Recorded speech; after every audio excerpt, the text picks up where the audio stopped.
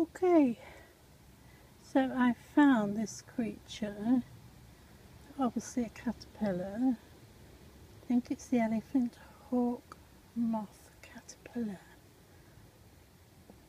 I'm not moving it, it's moving on its own.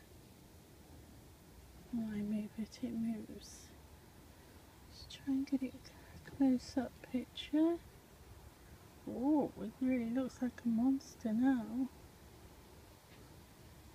It's turning round on its own. Okay, that's, I think that's what it is. And it seems to be stuck on this leaf. It is about four centimetres long.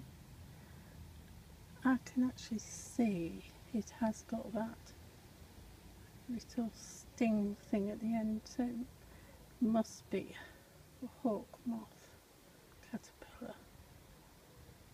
But I've seen one before and it was much bigger than this.